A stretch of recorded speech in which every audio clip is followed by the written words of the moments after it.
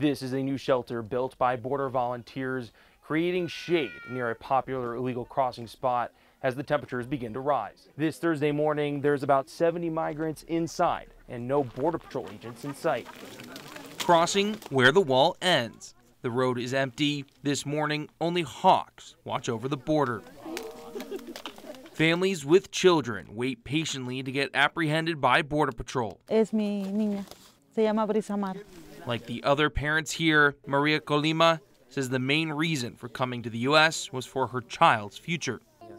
Pues espero que, que sí cuentemos con el asilo, pues más que nada, pues ahorita lo vemos más por nuestros hijos, ya que pues está una oportunidad buena aquí, ya que los niños pues están como que más seguros.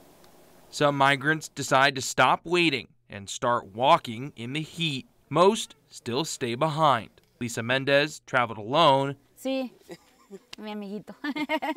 but made friends along the way. Also saying she came to the U.S. for safety. ¿Qué esperas lograr aquí en América?